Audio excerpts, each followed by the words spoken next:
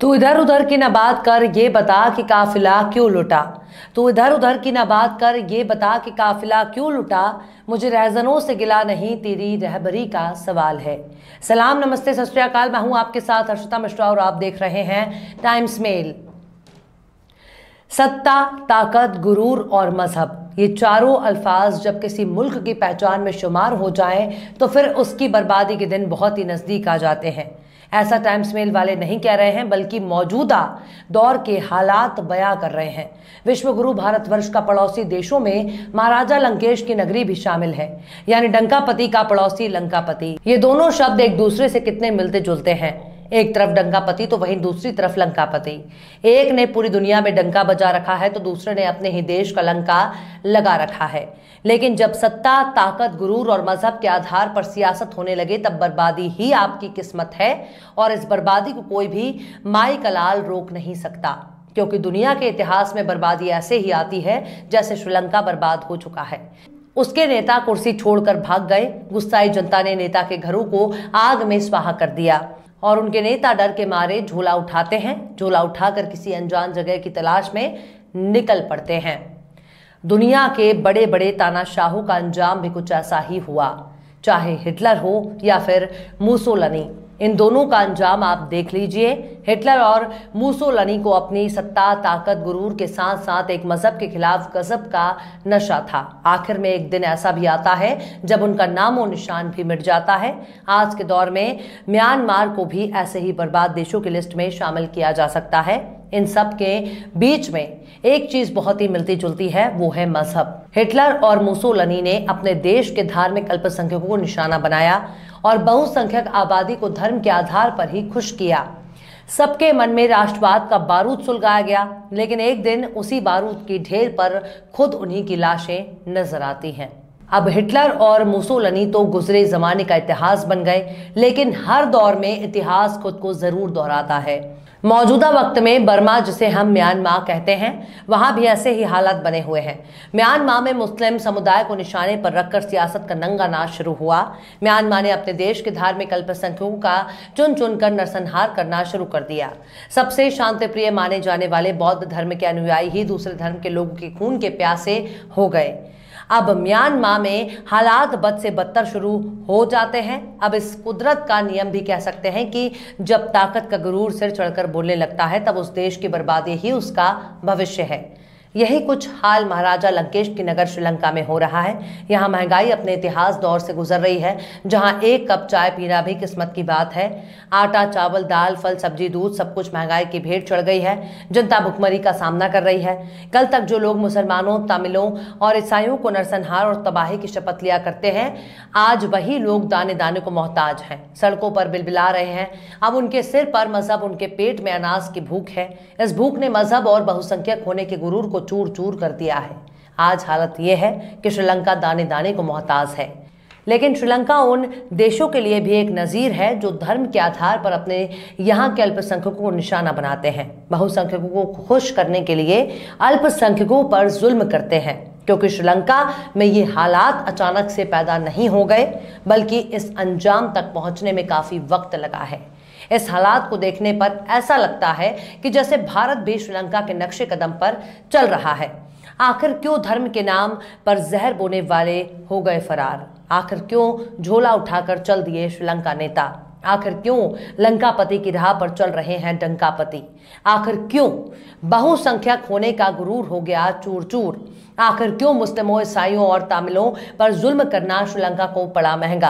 आखिर क्यों ताकत के गुरूर से श्रीलंका हो गया नेस्तो नाबूद? बताएँगे आपको और भी बहुत कुछ, लेकिन आप अगर हमारे चैनल पर नए हैं और पहली बार हमारी वीडियो को देख रहे हैं तो आप हमारे चैनल टाइम्स मेल को सब्सक्राइब कर लें। वीडियो को लाइक कर दें और बेलाइकन का नोटिफिकेशन बटन भी प्रेस कर दें, ताकि बिना देरी हमारी हर खबर आपको मिलती रहे।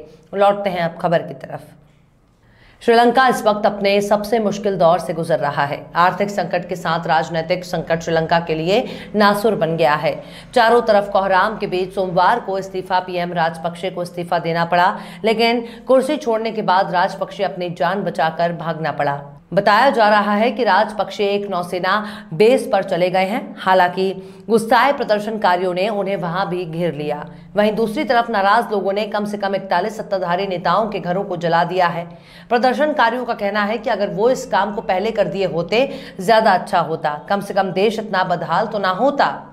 प्रधानमंत्री के इस्तीफे के बाद, कुछ ही घंटे बाद गुस्साई भीड़ ने राजपक्षे के परिवार का पैतृक घर भी आग के हवाले कर दिया।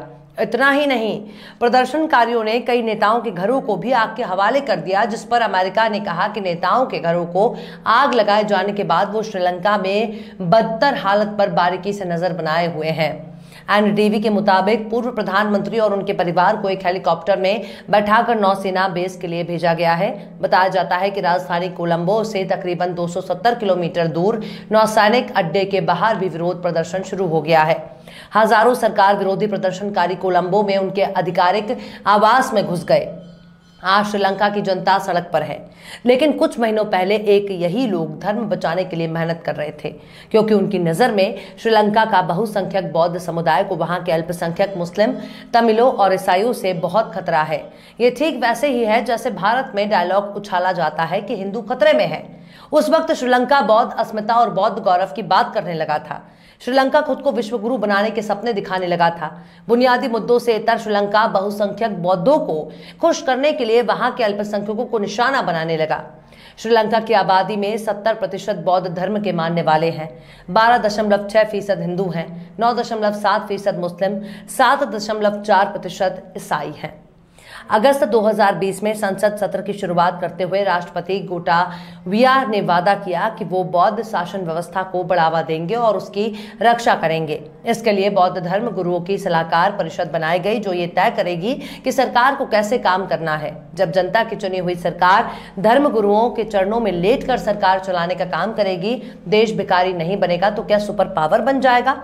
आखिर चुनावी प्रक्रिया क्या क्या मतलब रह जाता है? एनडीटीवी के मुताबिक श्रीलंका के कई ईसाई समूहों का एक व्यापक संगठन है, जिसका नाम एनसीईएएसएल है, जिसकी एक रिपोर्ट के अनुसार 18 जनवरी 2020 के दिन 150 लोग गाँव के एक चर्च में घुस गए और पादरी से कहा कि धार्मिक गतिविधियों को रोककर चर्च ही बंद कर दें। इसी तरह 23 फरवरी को एक और इलाके में चर्च में सर्विस चल रही थी। 100 लोग घुस गए और पादरी से सवाल करने लगे कि उनकी पूजा स्थल की कानूनी वैधता क्या है। इन सौ लोगों में एक बौद्ध धर्म गुरु भी था, जिन्हें भंते कहते हैं। अंग्रेज़ी में मॉन्क इन लोगों ने ईसाइयों से कहा कि वे गाँव छोड़कर चले जाएँ। यानी अगर कोई ईसाई है तो उसे रहने का कोई हक नहीं है। पूजा पाठ करना तो बहुत दूर की बात है। धार्मिक नफरत का एक और मामला अक्टूबर 2021 में देखने को मिला, जब श्रीलंका में एक टास्क फोर्स का गठन हुआ था। इसे एक देश, एक कानून भी कहा जाता है। तेरह सदस्यों के इस टास्क फोर्स में केवल सिंघली बौद्ध समुदाय से ही सदस्य बनाए गए। राजपक्षे की ये सनक जनता को नज़र नहीं आई कि इस तरह से भेदभाव क्यों हो रहा है। नवंबर 2021 की इस खबर में लिखा है कि श्रीलंका के कैथोलिक बिशप कॉन्फ्रेंस ने राष्ट्रपति गोटाब्या से मांग की है कि वे एक देश, एक कानून को लेकर बनाए गए टास्क फोर्स को वापस लें। इसमें तमिल, हिंदू, कैथोलिक और ईसाई अल्पसंख्यकों में से किसी को सदस्य नहीं बनाया गया है। कानून मंत्री अली साबरी ने तब बयान दिया था कि एक देश, एक कानून के लिए टास्क फोर्स बनाते समय उनसे पूछा तक नहीं गया। इसके बाद ऐतिहासिक इमारतों पर बहुसंख्यक धर्म का दावा ठोकने की शुरुआत होने लगती है। यानी जो भी इतिहास है, सब हमारा है। तुम्हारा यहाँ कुछ भी नहीं है। एक जून 2020 को पुरातत्विक और ऐतिहासिक इमारतों के संरक्षण के लिए एक कमेटी बनाई गई। इसमें भी केवल सिहली बौद्ध लोगों को ही सदस्य बनाया गया। इसका काम था मुस्लिम और तमिल बहुल इलाकों में पुरातत्विक स्थल का सर्वे करना। इसके ज़रिए उन धर्म स्थलों के बौद्ध स्थल होने का दावा किया जाने लगा। इन दो फैसलों के आधार पर समझ सकते हैं कि किस तरह गोडबाया राजा पक्षे की सरकार हर धर्म के अल्पसंख्यकों को सता रही थी। उन्हें मानसिक तनाव दे रही थी। सरकार की कमेटियों से बाहर कर रही थी। बहुसंख्यक जनता को भटकाने के लिए अल्पसंख्यकों पर तरह तरह के जुल्म ढाए जा रहे थे। बुद्धों को खुश करने के लिए श्रीलंका की सरकार ने मुसलमानों को नीचा दिखाना शुरू कर दिया। इसके लिए मार्च 2020 में श्रीलंका के स्वास्थ्य मंत्रालय ने एक मुस्लिम विरोधी आदेश दिया और कहा कि कोरोना से मरने वाले मुसलमान की लाश भी जलाना होगा। यानी मुसलमानों को दफनाने के बजाय उनकी लाशों को जलाने का फरमान जारी किया गया, जो मुस्लिम के लिए किसी सदमे से कम नहीं था।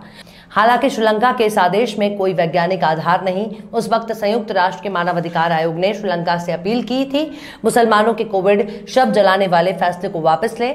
संयुक्त राष्ट्र ने श्रीलंका को चेतावनी भी दी कि इससे मुस्लिमों के खिलाफ नफरत और हिंसा में इजाफा होगा। लेकिन आज वही श्रीलंका दाने दाने को मोहताज है। अब सवाल है कि आखिर धर्म की आड़ में श्रीलंका ने किसका नुकसान किया? तो जवाब आपके सामने है।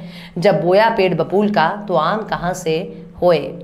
बहरहाल। चलते चलते आखिर में अहया भोजपुरी ने भी क्या खूब फरमाया है। मिला है तख्त जो जमहूरियत में बंदर को।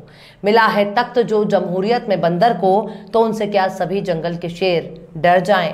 फ़िलहाल इस वीडियो में बस इतना ही। ये वीडियो आपको कैसा लगा कमेंट बॉक्स में आप ज़रूर बताइएगा। वीडियो पसंद आए तो लाइक करें। हमारे वीडियो लिंक को फेसबुक ट्विटर व्हाट्सएप पर अपने रिश्तेदार यार दोस्तों को भी शेयर करें और बेबाक, निष्पक्ष, स्वतंत्र पत्रकारिता को सपोर्ट करने के लिए आप हमारे यूट्यूब चैनल टाइम्स मेल को ज़रूर सब्सक्राइब करें। और हाँ बेलाइकन वाला, घंटी वाला बटन भी आप ज़रूर से दबा दें ताकि आपको हमारे आने वाले नए वीडियो की नोटिफिकेशन फ़ौरन ही मिल जाए।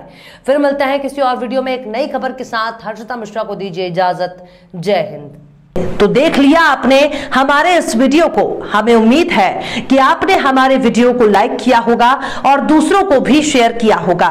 अगर अभी तक आपने हमारे चैनल टाइम्स मेल को सब्सक्राइब नहीं किया है तो जल्दी से सब्सक्राइब कर दें और बेल आइकन भी प्रेस कर दें।